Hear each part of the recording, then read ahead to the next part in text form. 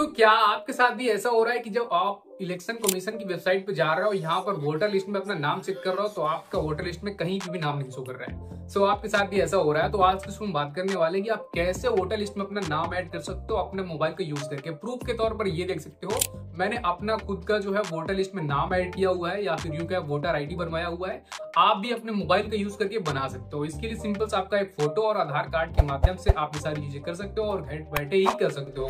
यहाँ पर आपको कहीं जाना भी नहीं कुछ पैसा भी नहीं खर्च करना है और इस टाइम जैसे कि आपको पता है, अगले दो महीने के अंदर चुनाव होने वाले हैं तो यहाँ पर ये चीज़ें बहुत फास्ट हो रही है। मतलब अगर आप एक हफ़्ते के अंदर अगर आपको पहले बनवाने की कोशिश की हो नहीं बनाया तो अभी एक हफ़्ते के अंदर बन जाएगा।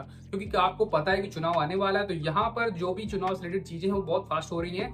और इसी का फ़ायदा उठाकर आप भी अपना वोटर लिस्ट में नाम एड करवा सकते हो या फिर यूँ कहें वोटर आईडी कार्ड बनवा सकते हो। तो सिंपल वे बात करने वाले हैं। चलो, मोबाइल स्क्रीन पे चलते हैं और सारी चीज़ें आपको स्टेप बाय स्टेप बताते हैं कि आप कैसे क्या करना है, आपको आप कैसे बना पाओगे। तो वीडियो पसंद आए तो इसको एक लाइक कर देना। तो यहाँ पर क्या करना है दोस्तों, आपको सिंपल से एक ऐप आपको चाहिए और यहाँ पर आप वेबसाइट से भी सारी चीज़ें कर सकते हो। लेकिन यहाँ पर मैं आपको कहूँगा कि आप प्ले स्टोर पर जाइए और यहाँ पर जो है आप सर्च कर दीजिए वोटर हेल्पलाइन। ये ऐप इसलिए बता रहा हूँ दोस्तों क्योंकि यहाँ पे काफ़ी इजी होता है वेबसाइट में आप जाएँगे तो परेशान हो जाएँगे। तो यहाँ पर देख सकते हो वोटर हेल्पलाइन करके आपको यहाँ पे सर्च कर देना है प्ले स्टोर से इस ऐप को डाउनलोड कर लेना है। उसके बाद यहाँ पे इसको ओपन करना है। जैसे आप यहाँ पे ओपन करोगे तो यहाँ पर आपको अपना मोबाइल नंबर और यहाँ पे पासवर्ड डाल के ओ टी यहाँ पर आप, आपको आएगा। तो सिंपल से यहाँ पर लॉग कर लेना है। आप जब भी इसमें लॉग करोगे तो आपको यहाँ पर पासवर्ड और ओटीपी डालना पड़ेगा। तो यहाँ पर हमने मोबाइल डाल दिया और पासवर्ड डाल दिया और यहाँ पर सिंपल से हम लॉग कर लेते हैं। जैसे आप देख सकते हो कि ऊपर यहाँ पर एक ओ आ चुका है तो हम यहाँ पे ओ सबमिट कर देते हैं। यहाँ पर फ़र्स्ट टाइम आप यूज़ कर रहे हो तो आपको यहाँ पे ऐसे सब चीज़ करना पड़ेगा रजिस्ट्रेशन करना पड़ेगा। उसके बाद जैसे आप यहाँ पे ओपन करोगे तो देख सकते हो लॉग सक्सेसफुली और यहाँ पर देख सकते हो कि ये सारे फीचर्स आपको मिलेंगे। Voter registration voter service download e pack जैसे दे सकते हो। और इलेक्शन रिलेटेड आप यहाँ पे सारी चीज़ें कर सकते हो। तो यहाँ पर सिंपल से आपको क्या करना है? नया रजिस्ट्रेशन करना है। तो आपको न्यू रजिस्ट्रेशन पे क्लिक करना है और new voter registration form six को आपको भरना है। तो सिंपल से इस पर क्लिक करना है। जैसे आप यहाँ पे आएँगे तो ये देखिए आपको लिख के आएगा और यहाँ पर देखते हो my name is voter Mitra और यहाँ पर I am personal digital assistant तो ये कुछ ऑप्शन आएगा। तो सिंपल से आपको इसको थोड़ा सा नीचे करना है और यहाँ पर देख सकते हो लेट्स स्टार्ट का ऑप्शन तो आपको क्या कर देना है? इस पर क्लिक कर देना है। और यहाँ पर क्लिक करने के बाद देखिए पूछेगा थिंग्स यू शुड नो ये आपको पूछेगा तो आप सिंपल से पढ़ लीजिएगा। और यहाँ पर देख सकते हो। Are you applying for the voter ID first time तो आपको सिंपल इस पर क्लिक कर देना है। अगर आप फ़र्स्ट टाइम अप्लाई कर रहे हैं तो यहाँ पर देख सकते हो आपको फ़र्स्ट वाले ऑप्शन पे क्लिक कर देना है। और जैसे आप यहाँ पे क्लिक करोगे, आपको नेक्स्ट करना है। और यहाँ पर देख सकते हो कि ये कुछ ऑप्शन हैं। एक, दो, तीन, चार, पाँच। और आपको ये पाँचों स्टेप्स को फॉलो करना है। तो सबसे पहले आपको अपना स्टेट जो है या फिर यूनियन टेरिटरी है, उसको सेलेक्ट कर लेना है। तो यहाँ पर हमने अपना उत्तर प्रदेश सेलेक्ट कर लिया है। उसके बाद डिस्ट्रिक्ट सेलेक्ट कर लें। तो आपको यहाँ पर सर्च कर लेना है। आप यहाँ पर अपना डिस्ट्रिक्ट सेलेक्ट कर लेंगे। उसके बाद आपको जो विधानसभा क्षेत्र होता है, ठीक है असेंबली कंस्टिट्यूंसी तो आपको अपना विधानसभा क्षेत्र जो होता है, आप वो सेलेक्ट कर लेना है।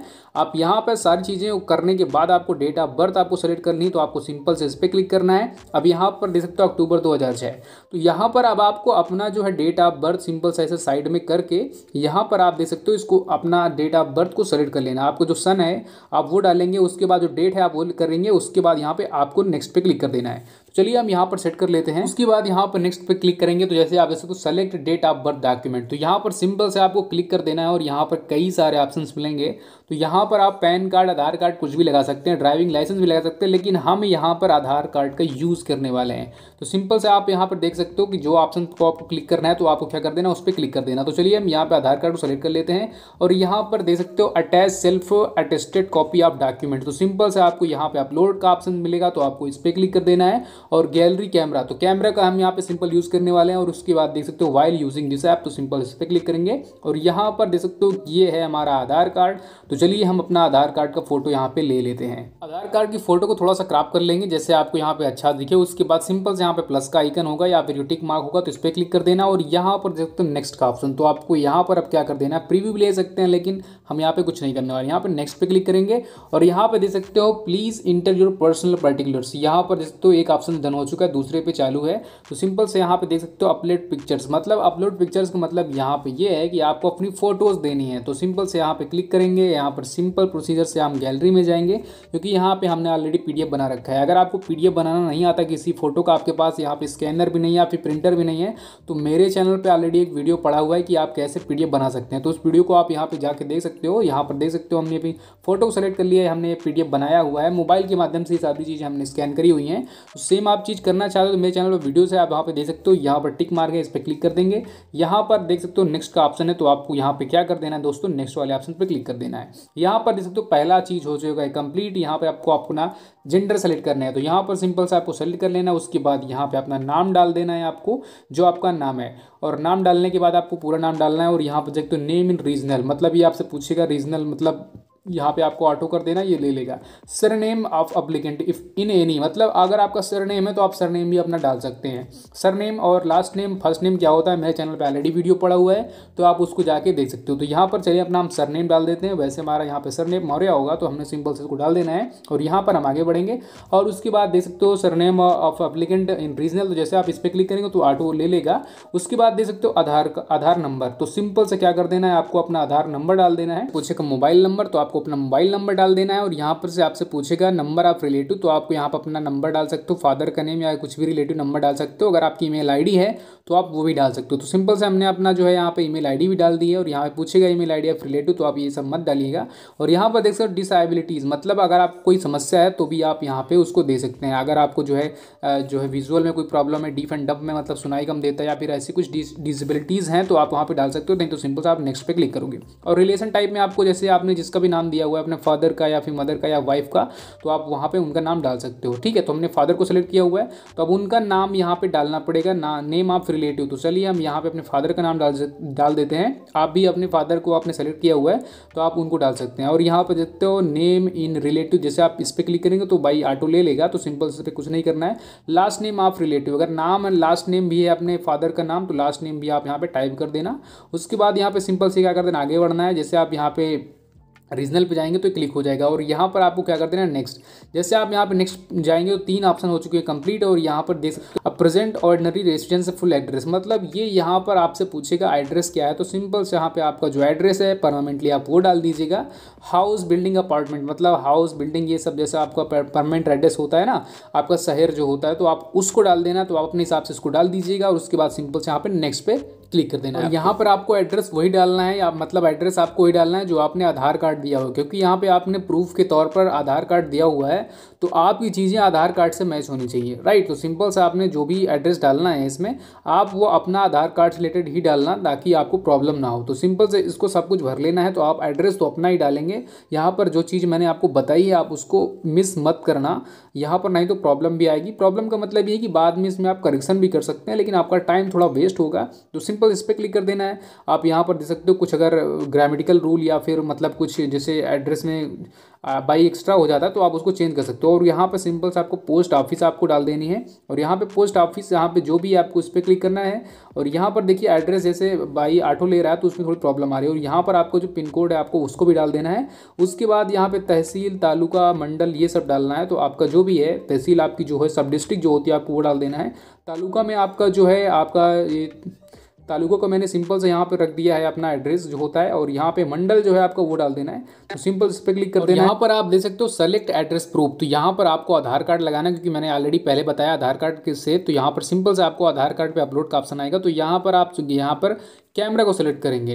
यहाँ पर सिंपल से इसको आप स्कैन कर लेना, जो आपका बैग में दिया होता है एड्रेस तो आपको सिंपल से स्कैन करने के बाद उसकी फ़ोटो खींचने के बाद आपको अपलोड कर देना है। अपलोड करने के बाद थोड़ा सा यहाँ पर देख सकते हो कुछ ऐसे आपको चेंजेस है। तो यहाँ पर आप इस पर क्लिक करेंगे और यहाँ पर देख सकते हो इसको ऑप्शन आएगा तो इसको आप छोटा बड़ा करके एडजस्ट कर लेना।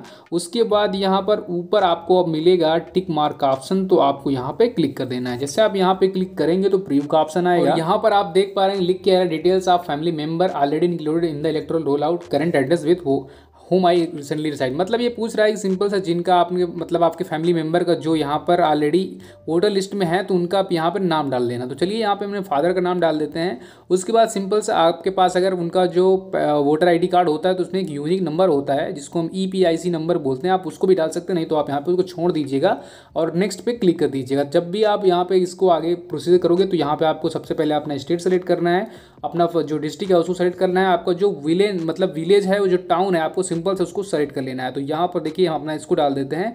उसके बाद यहाँ पर आपको क्या करना है, जैसे आप, जैसे तो विलेज प्लस स्लैश में आपको टाउन आपको डालना होगा। तो अगर आपके यहाँ टाउन है तो आप टाउन भी डाल दीजिएगा। सब कुछ भरने के बाद जैसे आप देख सकते हो कि जो डेट है, उसको भी सेलेक्ट कर लेना। देखिए, हमने अपना डेट सेलेक्ट कर लिया है। करंटली डेट है, आपको इस पर क्लिक भर कर देना है। उसके बाद यहाँ पे देख सकते हो, ये कुछ ऐसे ऑप्शन आएँगे। तो आपको देखिए, सब कुछ पढ़ लेना है। आराम से आप पढ़ लीजिएगा।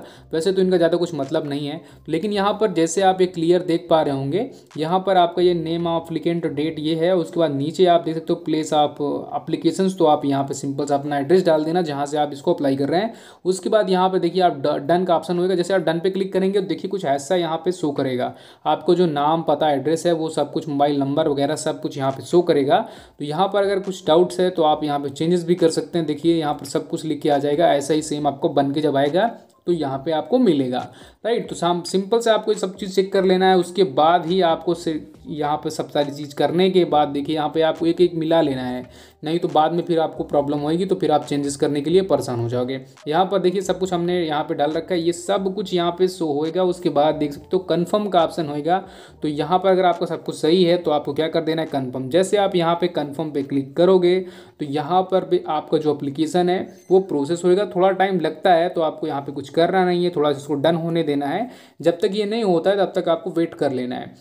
यहाँ पर थोड़ा हम वेट कर लेते हैं। जैसे आप यहाँ पे आपका प्रोसेस एक बार कंप्लीट होता है तो यहाँ पर एक आपको रेफरेंस आईडी मिलेगी जैसे आप यहाँ पे देख सकते हो। अब इस रेफरेंस आईडी के माध्यम से ही देख सकते हो, ये यहाँ पर ऑप्शन आएगा। इस रेफरेंस आईडी पे आप जैसे दोबारा इस ऐप में आओगे तो यहाँ पर आप इसका स्क्रीन ले लेना और यहाँ पर सेव करके रख लेना। आप जब इसमें यहाँ पर आप जैसे कि मान के चलिए आपको अपना चेक करना हो स्टेटस तो यहाँ पर आप इस रेफरेंस आईडी के माध्यम से ही चेक कर सकते हो। हालाँकि इसको एक हफ़्ते लग जाएँगे आपके बनने में, और यहाँ पर एक हफ़्ते के बाद ये आपका बन जाएगा। अगर आप इस पर वीडियो चाहते चाहते हैं कि हम कैसे अपना रेफरेंस आईडी से चेक करते हैं अपना वोटर आईडी कार्ड या वोटर लिस्ट में नाम तो आप वीडियो चाहते हो तो कमेंट ज़रूर करना।